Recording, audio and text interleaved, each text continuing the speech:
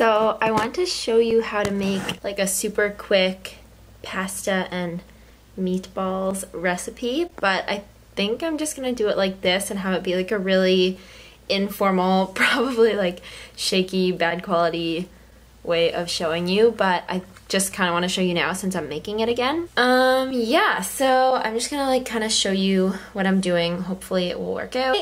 I think that's uh, good for an intro. Let's get into the pasta. Okay, so this is the pasta that I'm using. Just this um, linguine. It's just like high fiber white pasta. It's just what I had in my cupboard. So I'm going to boil that. And then I'm going to show you how to make the sauce. Also,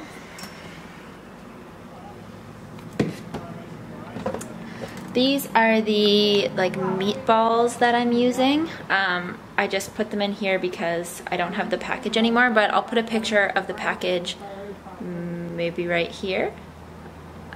Um, so they're not actually like soy or like fake meat or anything. They're actually made of quinoa and kale and they're so much better than I expected and I love them. So what I'm gonna do now is just chop up some vegetables, saute them in a pan, add some tomato sauce and some spices. So here I just have the kale and quinoa bites cooking, just getting them warmed up and a little bit crispy.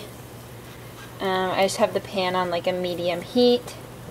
Probably gonna burn myself trying to do this. And here I just have some red peppers or red capsicum as some people call it cooking. Here I'm just boiling some water for the pasta. Wait, I just poured in the sauce and some basil. Quite a bit. Parsley. Again, quite a bit. I love parsley too. Then I'm just mixing it around. Then I'm going to do some pepper, some Himalayan pink salt, just sprinkle of cane sugar. Push it all in there. Almond milk, make it a little bit creamy, so I don't know, a good splash, maybe like half cup, quarter cup. So I'm just gonna let this cook for a bit. And what I'm gonna do is just at the very last minute add some spinach for like 30 seconds so that it gets a little bit wilted. And then I'm going to put it all into a bowl, put the meatballs on top, gonna be al dente. It's gonna be awesome.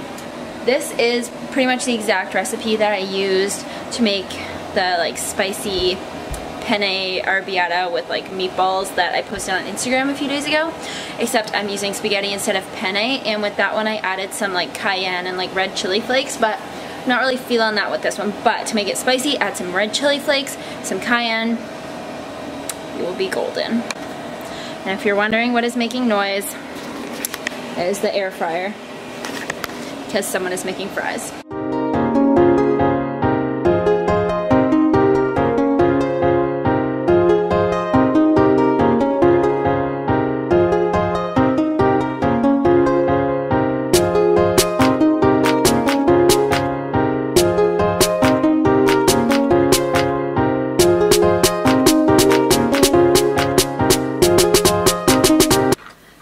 Hope that you guys liked this video. I hope it wasn't too hard to follow along. The recipe and all the directions will be in the description box, so you can go check that out. And I hope you make it, and I hope you like it, and I'll see you next time. Bye!